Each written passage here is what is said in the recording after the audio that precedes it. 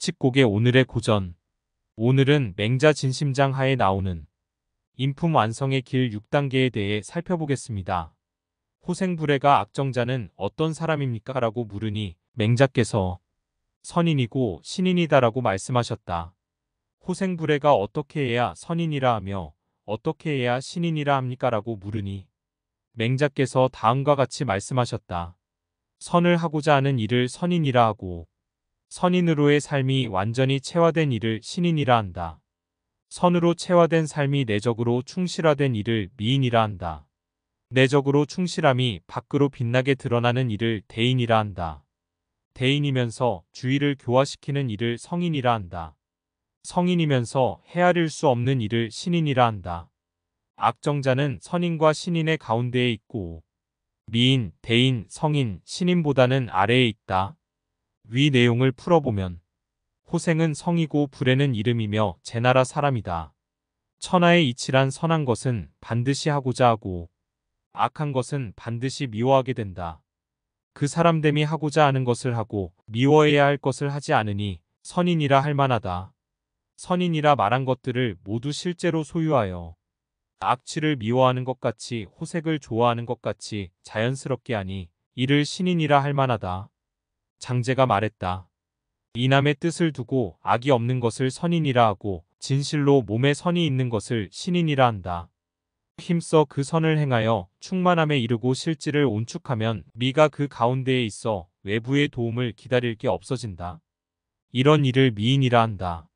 화순함이 안에서 온축되어 정수가 밖으로 드러나고 미가 안에서 실제하여 사지에 펼쳐지니 모든 일에 발휘되면 덕업이 지극히 성대해져서 덧붙일 게 없어진다.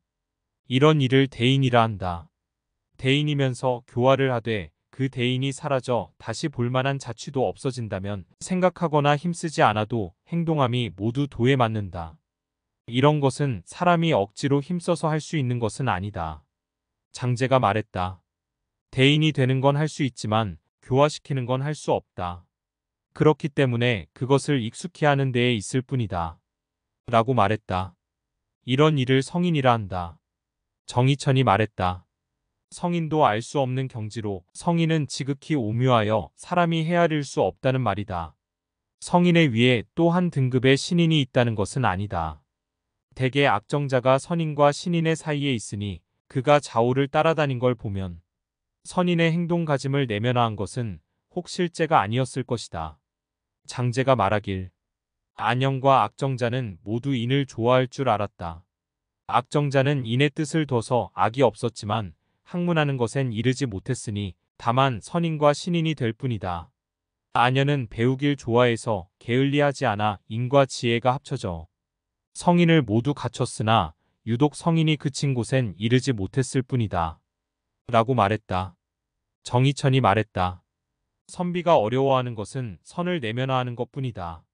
선이 내면화되면 거처하는 곳이 편안해지고 의지하는 것이 깊어져 미인의 경지와 대인의 경지에 이르러 가게 된다. 다만 선을 하고자 하는 선인의 경지만을 알고 있는 듯 없는 듯할 뿐이라면 속세에서 변화를 받지 않을 수 있는 이가 드물 것이다. 이상 맹자 진심장 하에 나온 인품 완성의 길 6단계를 살펴보았습니다. 위 내용을 참고하여 인이해지 공부를 해 나가시길 바랍니다.